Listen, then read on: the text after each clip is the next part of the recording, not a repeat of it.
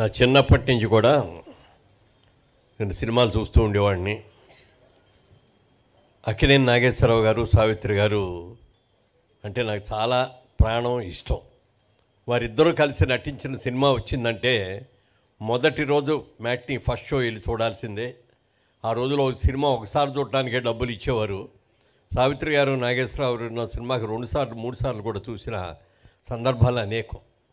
అంత మంచి సావిత్రి గారిని జీవితంలో ఒక్కసారన్నా నేను కలుసుకోగలనా? ఒక్కసారన్నా ఆవిడతో ఫోటో దిగ్గలనా? ఒక్కసారన్నా ఆవిడకి షేక్ హ్యాండ్ ఇవ్వగలనా అని అనుకునేవాడిని. నా అదృష్టం బాగుండి నేను నటుడినయ్యి. ఏడెనిమిది సినిమాల్లో ఆవిడతో కలిసి నటించే అదృష్టం నాకు కలిగింది.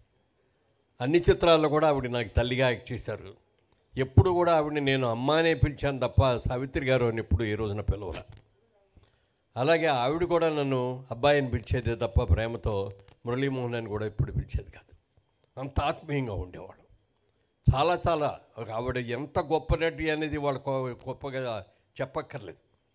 ఇక ఆవిడ తర్వాత అలాంటి నటీమణి రాలేదు అన్న కూడా అది అతిశయోక్తి కాదు. ముఖ్యంగా మాయాబజార్ ఇక్కడ ఉన్న వాళ్ళందరూ మనందరం చూసే ఉంటాం. పెద్ద హిట్ అయింది. ఆ సినిమా రిలీజ్ అయిన తర్వాత ఈ సినిమాలో హీరో ఎవరు అని ఒక చర్చ జరిగిందట. అక్కినే నాగేశ్వరరావు గారు అన్నారట హీరో అంటే హీరో హీరోయిన్లు కలిపి డ్యూయిట్లో ఉన్నది ఎవరైతే వాళ్ళే హీరో ఈ సినిమాలో నేనే హీరో అన్నారంట ఆయన. ఎన్టీ రామారావు గారు వచ్చి నేను కృష్ణుడు వేషం ఇస్తా కథంతా నడిపించేది నేను నేనే హీరో అన్నారంట. ఎస్వి రంగారావు గారు వచ్చి అసలు సెకండ్ హాఫ్లో ఘటోద్గడు వచ్చాడు కానించి అసలు సినిమా లేచింది ఆ సినిమాకి హీరో నేను అన్నా అంట అప్పుడు పెద్ద మనిషి అన్నారంట.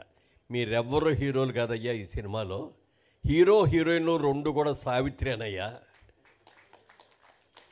ఆవిడ మాయా ఘటో ఘటోద్గజుడు స్త్రీ రూపంలో ఉన్నప్పుడు చేసిన నటన దాని హైలైట్. ఆవిడ నిజమైన హీరో అని చెప్పి అన్నారట అలా ఒక గొప్ప నటి. ఆవిడతో నాకున్న అనుబంధం నేను జీవితంలో మర్చిపోలేనిది. చాలా నేర్చుకున్నాను ఆవిడ దగ్గర కూడా. ఒకసారి చేసిన భాషల సినిమా మైసూర్లో షూటింగ్ జరుగుతుంటే ఆ షూటింగ్ చేసి నేను ఫ్లైట్కి ఈవినింగ్ ఫ్లైట్కి వెళ్ళిపోవాలి. చాళుక్య హోటల్లోకి వెళ్ళి అక్కడ లిఫ్ట్ ఆన్ చేసేటప్పుడు పైనుంచి అది కిందకు వచ్చింది. డోర్లు ఓపెన్ చేయగానే ఎదురుగా సావిత్రి గారు ఉన్నారు. తెల్లటి చీర కట్టుకొని మంచి బొట్టు అది పెట్టుకొని చాలా అందంగా ఉన్నారు. అమ్మా చాలా అందంగా ఉన్నారు అన్న నువ్వేంటి బాబు ఇక్కడికి వచ్చావు అన్నారు అంటే షూటింగ్ కోసం వచ్చానమ్మా అయిపోయింది. అని మీరేంటమ్మా ఇక్కడికి వచ్చారు అన్న? నాకు రేపటి నుంచి షూటింగ్ ఉంది ఆ షూటింగ్ కోసం వచ్చాను. అమ్మ చాలా అందంగా చాలా చక్కగా ఉన్నారు. ఇదే మెయింటైన్ చేయడమ్మా. అంటే మధ్యలో కొంచెం అనారోగ్యంతో తగ్గిన తర్వాత మళ్ళీ అంత అందంగా అనిపించారు. అలాగే బాబు తప్పకుండా అని చెప్పి అన్నారు. ఇద్దరు జబ్బాయి చెప్పాం దురదృష్టగాతో ఆ రోజు రాత్రే ఆవిడ డయాబెటిక్ కోమాలోకి వెళ్ళారు. అంటే ఆవిడ డయాబెటిక్ కోమాలోకి వెళ్ళబోయే టైంలో ఆఖరిగా ఆవిడని చూడగలిగింది నేను మాత్రమే. అలాంటి మహానటి చనిపోయింది అన్న తర్వాత కూడా మేము దుఃఖాన్ని తట్టుకోలేకపోయాం. ఇక్కడే హైదరాబాద్లోనే అన్నపూర్ణ స్టూడియోలో నాగేశ్వరరావు గారు దాసర్ గారి డైరెక్షన్లో మేము మేమందరం కలిసి యాక్ట్ చేస్తున్న సినిమా. అప్పుడు వార్త తెలిసింది చనిపోయారు ఆవిడ అని. తట్టుకోలేకపోయాం ముగ్గురం కూడా. దాసర్ గారు అయితే ఎప్పుడు కూడా సావిత్రి గారిని అక్క అక్క అంటారు. ఆవిడ కూడా అబ్బాయి అబ్బాయి అనే పిలిచేది ఆవిడ. అలాగే అక్కినే నాగేశ్వరరావు గారు సావిత్రి గారు ఎన్ని సినిమాలు చేశారో ఎన్ని సూపర్ హిట్ చేశారో మీకు అందరికీ తెలుసు. మేము ముగ్గురు నిర్ణయించుకున్న అప్పటికప్పుడు మనం టికెట్స్ తెప్పించేస్తాను. వెంటనే మనం ఢిల్లీ వెళ్దాం మన చెన్నై వెళ్దాం. అంత్యక్రియల్లో మనం పాల్గొవాలి అని చెప్పి అనుకోవటం. ముగ్గురం కలిసి వెళ్ళాం అంత్యక్రియలకి. ఆవిడ అంత్యక్రియలు పూర్తి అయ్యే వరకు కూడా అక్కడే ఉండి ఆ కన్నీళ్ళు కూడా అక్కడే కార్చేయి మళ్ళీ అమ్మ నువ్వు ఎప్పటికీ నువ్వు చిరంజీవిగా ఉంటావు నువ్వు ఎప్పటికీ కూడా తెలుగు సినిమా కాదు ప్రపంచ సినిమా ఏది కూడా మిమ్మల్ని మర్చిపోదు అని చెప్పి అనుకున్నాం. అలాగే అనేక అనుభవాలు ఆవిడతోటి. మహానటి. ఇవాళకి కూడా ఆవిడ చనిపోయిన తర్వాత కూడా మహానటి సినిమా వచ్చి కూడా ఆ సినిమా ఎంత సూపర్ డూపర్ హిట్ అయిందో మనందరికీ తెలుసు. అలాగే అందులో మహానటి పాత్ర వేసినటువంటి ఆ నటికి బెస్ట్ యాక్ట్రెస్గా ఎలా వచ్చిందో కూడా మనకు తెలుసు. అంత గొప్ప మహానటి వాళ్ళ ముఖ్యంగా ఈ స్టేజ్ మీద ఒకరోజు సంజయ్ కిషోర్ నా దగ్గరకు వచ్చి సంజయ్ ఏంటి?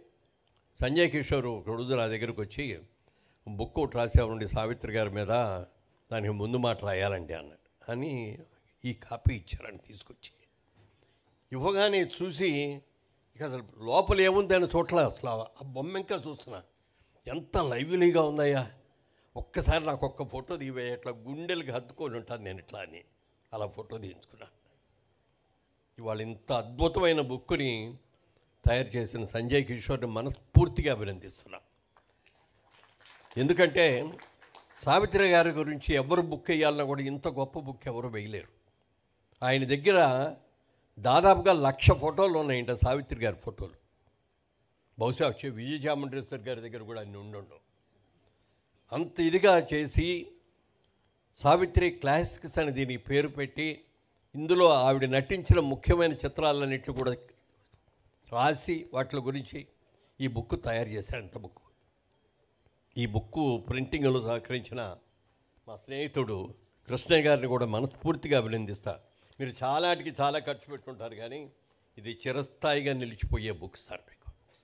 ఇవన్నీ ఒక ఎత్తు అయితే ఈ బుక్ ఆవిష్కరణ కోసం మెగాస్టార్ చిరంజీవి గారు సతీ సమేతంగా వచ్చి ఎందుకంటే ఎప్పుడో ఆవిడ వచ్చినా అక్కడే కూర్చుంటారు కానీ పైకి రారు అసలు. వచ్చేదే తక్కువ వచ్చిన పైకి రారు. ఇవాళ సావిత్రి గారి కా కార్యక్రమం అనేటప్పటికి ఆవిడ కూడా ఎంతో ఉత్సాహం వచ్చి ఇంతసేపు అక్కడే కూర్చోవడం అదొక హైలైట్ అయితే ఇవాళ ప్రోగ్రాంలో హైలైట్ ఏమిటి అని చెప్తే సురేఖ్ గారు విజయ్ చాముండేశ్వర్ గారి ఇంటర్వ్యూ ఉంది చూశారు. అద్భుతం సూపర్. ఇవాళ జరిగిన ఈ దీన్ని ప్రపంచంలో ఉన్న తెలుగు వాళ్ళందరూ కూడా ఇవాళ చూసి ఉంటారు ఇప్పటికే. ఒకవేళ చూడకపోయినా ఇది ఎంత వైరల్ అవుతుందో చెప్పడానికి వెళ్ళలేదు వెరైటీ. చిరంజీవి గారు మాట్లాడారంటే పెద్ద గొప్ప కాదు. చాలాసార్లు మాట్లాడారు. ఎన్నో చూశారు ఆయన. కానీ సురేఖ్ గారు మాట్లాడారంటే గొప్ప. మరి వాళ్ళిద్దరూ స్నేహితులైనటువంటి మరి విజయ్ చామండేశ్వర్ గారు వారిద్దరు కలిసి మాట్లాడటం. ఈ సందర్భంగా ఆవిడ ఎన్నో మాకెవరికి కూడా తెలియని విషయాలు ఎన్నో చెప్పింది చిన్నప్పటి విషయాలు కూడా. చిరంజీవి గారు పక్కన ఉన్నారు విజయశామండ్రిలో ఈ ఇది అంటే ఏమన్నారు ఇందాక? కొత్త కోణం. ఆవిళ్ళు కొత్త కోణం చూస్తాము అని చెప్పి ఎప్పుడు కూడా చాలా గంభీరంగా పెద్దగా నవ్వుతూనే మాట్లాడతారు కానీ ఇంత చక్కగా ఇంత సరదాగా మాట్లాడటం ఇవాళే నేను చూడటం. అంత అద్భుతమైనది. ఈ మహానటి గారి కార్యక్రమంలో పాల్గొనే అదృష్టం నాకు కలగటం చాలా అదృష్టం. అలాగే సంజయ్ కిషోర్ నన్ను అడిగాడు ఈ బుక్ చూపించినప్పుడు ఎలా ఉందండి? అన్నాడు. చాలా బాగుందండి. ప్రతి తెలుగు ఇంట్లోనూ ఒక భారతము ఒక రామాయణము ఒక భగవద్గీత ఉంటాయి. అలాగే సినిమా ఇండస్ట్రీకి సంబంధించిన వ్యక్తులు అభిమానులు అందరూ కూడా ఒక భాగవతంలాగానో ఒక భారతంలాగా ఒక భగవద్గీతల ఇంట్లో దాచుకోక బుక్ ఇది ఇది. అంత మంచి బుక్ చేశావు.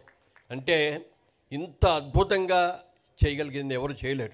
జర్నలిస్టులు చాలామంది చాలా బుక్స్ వేశారు కానీ ముఖ్యంగా సావిత్రి గారి ఆయన కూడా చాలా బుక్కులు వేసినా కూడా వాటన్నిటికంటే కూడా ఇది ఒక అద్భుతమైన బుక్గా వారిని నేను మనస్ఫూర్తిగా అభినందిస్తూ ఈ కార్యక్రమంలో ఎక్కువ మాట్లాడకూడదు. మనందరికంటే చిరంజీవి గారు ఎక్కువ మాట్లాడితే మేము అందరూ సంతోషిస్తాం. మాట్లాడండి ధన్యవాదాలండి.